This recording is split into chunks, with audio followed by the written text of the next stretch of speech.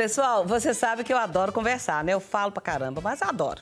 E hoje nós vamos ter uma consulta aqui em casa e dessa vez sobre um assunto que eu adoro: cuidar com cabelo, autoestima. E eu tô recebendo aqui o cabeleireiro, cabeleireiro Lincoln Borges, aqui no estúdio, está aqui presencialmente comigo. Ele é um expert em cor e corte de cabelo. Oi, Lincoln, seja bem-vindo. Bom dia, muito obrigado pelo convite. É um prazer estar aqui com vocês. Legal. E hoje trazer um pouquinho de autoestima, vaidade, qualidade de cabelo. Tem pessoas, você já se pre presenciou alguma pessoa no seu, no seu estúdio que sentou, olhou no espelho e ficou assim meio intimidada, não gostando do que viu e ficou assim, ah não, eu não, eu não tem coisa que eu acho que isso não combina, você sugere uma coisa, sugere outra, ah não, a pessoa tá baixa astral, já aconteceu isso com você? Já, claro. Às vezes o que ela vê na internet, o que ela vê na revista, pode ser agradável aos olhos dela, mas quando ela se vê naquele, naquela imagem que a gente reproduz ali, ela não consegue se identificar. Então gera ali um pouco de estranheza. Mas tudo é adaptação, né? Uhum. Então é, a gente sempre precisa é, avaliar ali como a cliente vai, é, como ela está emocionalmente, para depois a gente trazer ali uma possibilidade viável para ela. Então quer dizer que você acaba sendo um psicólogo. Psicólogo. Para conversar, para descobrir, para entender o que é que essa cliente quer. Ou seja, é uma aquela psicologia de dentro de estúdio mesmo, Sim. da vida. Sim. O cliente às vezes chega com tanta tristeza, com tanta felicidade, com tanta dor, com tanta alegria, que a primeira coisa que ela quer é fazer mudanças do cabelo, né? Uhum. Então, sempre tem alguma coisa ali por trás que motiva ela a buscar qualidade para essa nova visão que ela tem, né? Seja o término de um casamento, o nascimento de um filho, seja o casamento da filha. Então, é sempre muito bom trazer essa psicologia e ouvi-la, ao mesmo tempo acolhê-la, ao mesmo tempo doar amor e carinho. Olha. E trazer tudo isso para que ela se sinta melhor. Bom, no seu trabalho diário, você é do tipo que opina nas escolhas da cliente ou prefere fazer o que ela escolheu? Isso é uma pergunta que eu sempre é, ouço no salão, né? Eu acho que a primeira coisa é respeitar o que a pessoa quer. Uhum. Eu sou um profissional que tenta tirar todos os rótulos de todas as pessoas que sentam na minha cadeira, inclusive comigo. Então, a primeira coisa é ouvir o que ela quer. Segunda coisa é saber das condições dessa pessoa. Como ela cuida do cabelo em casa, como ela malha, que tipo de rotina que ela tem, qual é o tipo de alimentação, para depois sugerir é, coisas que sejam realmente viáveis para ela. Né? Seja ali, por exemplo, ah, eu malho muito. Então, se ela malha, ela prende o cabelo. Então, se ela prende o cabelo, eu não posso fazer uma descoloração muito grande, ah, fazer ela tá. ficar muito loira, porque senão vai acontecer quebras no fio, né? Ah, então, tá. o ideal é a gente avaliar ali a rotina, entender o que ela quer e aí depois eu venho por trás e dou o meu, meu toque, né? De, olha, eu acho que a gente pode fazer menos, olha, vamos, vamos exagerar um pouquinho mais nisso. Então, sempre existe um diálogo antes. E o ideal é que a gente sempre possa trocar. Ah, né? Você como minha cliente, eu como seu consultor, cabeleireiro, amigo, como é, a gente ali dentro é tudo, né? Filho, é irmão, é parente, é todo mundo junto. É isso é que é bom, não é? É claro. Eu acho legal. É, e nessa moda atualmente das mulheres assumirem os cabelos grisalhos, você gosta? Ah, ótima pergunta. É, pandemia veio para trazer aí para as pessoas uma desrotularização, né? Uhum. Então, é, muitas pessoas perderam entes queridos, amigos. É, então, eu vejo que a pandemia trouxe aí para essas pessoas, principalmente para as mulheres, uma nova visão, uma nova perspectiva. Bom, eu vou me aceitar como eu sou e a vida segue. Uhum. Então, o cabelo branco, ela veio, ele veio justamente nesse momento. Você vê a Fafá de Belém, super cabelão preto a vida toda. Uhum. De repente, a pandemia começou, ela começou a deixar até que de repente a pandemia deu uma trégua, ela estava já com cabelo branco. Uhum. Então eu acho que é muito da, do gosto da pessoa se reconhecer como ela é. Uhum. Se hoje eu estou feliz como estou, tá tudo certo. Se eu estou triste, eu preciso melhorar a minha autoestima. A primeira coisa é o cabelo. Né? Segunda coisa, vem ali a, a, a, condição de conversar com familiares e tal. Então, o cabelo branco eu vejo que é mais uma é, é, é, bem, é bem bom, eu gosto da ideia. Eu, particularmente, tenho algumas clientes. Minha mãe é, é uma pessoa que saiu de todas as químicas, hoje é grisalha, super aceita. Eu amo a ideia da minha mãe não ter hoje nenhum tipo de química no cabelo, para ela se sentir melhor. Então, se ela se sente bem, a gente vai lá, reformula o corte, faz um corte mais curto, faz uma franja, faz um repicado, um movimento. Então, que eu legal. sou a pessoa que tenta ir atrás do que a pessoa quer, do que a cliente quer. Você, olha ali para aquela câmera 3. Você é uma pessoa muito jovem. Obrigado. E já tem esse cabelo grisalho. Desde... Nunca teve vontade de pintar seu cabelo? Desde os 16, cabelo branco, gente. Desde os 16 Desde anos? Desde os 16. Minha família toda de cabelos brancos, né? Então cresci com esse cabelo.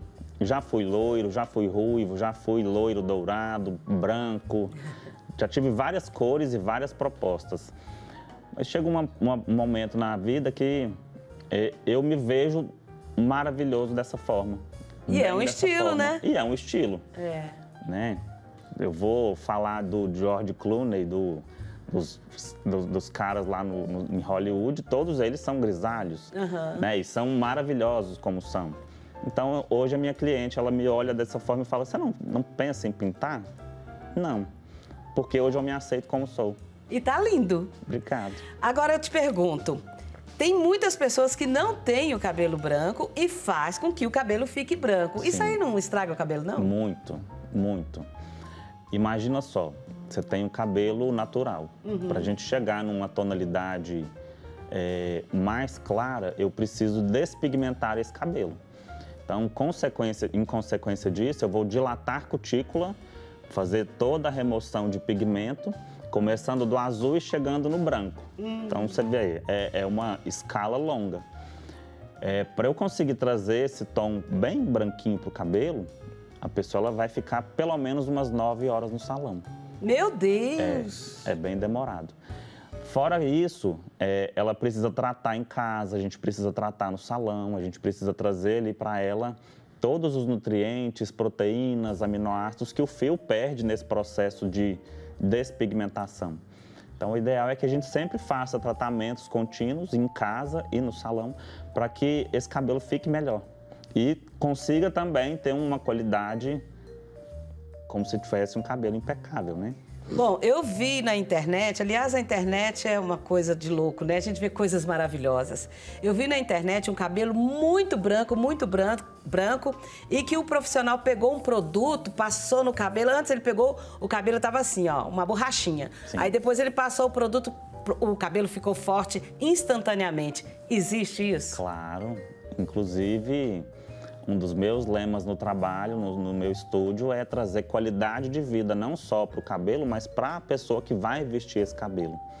Então, hoje existe produto no pó descolorante, existe o Plex, que é eu posso fazer ali o borrifamento dele no cabelo. É, tem vários produtinhos hoje que a gente consegue trazer essa resistência para o fio sem que ele perda, sem que ele perca todos esses nutrientes que eu falei antes. Né? Então, sim, esses plex eles são realmente para estabilizar ali o fio e deixar ele bem firmezinho. Como é que chama o trem? Plex. Plex, viu, gente? O trem chama Plex. Eu e a minha mineirice.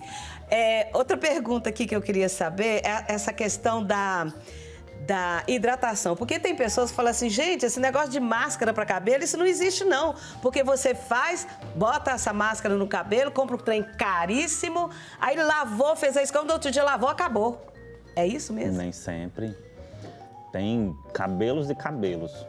Tem cabelos que precisam de um produto extremamente forte para trazer ali a resistência. Tem produto tem cabelo que já precisa de uma coisinha mais leve, mais suave. Hum. Então, por exemplo, Dentro das escalas de tratamento, a gente tem hidratação, nutrição, reconstrução, umectação. Ah, né? Tá. Então, cada um ali trata de uma forma é, para o cabelo ficar mais saudável, né? Uhum. Vamos falar assim.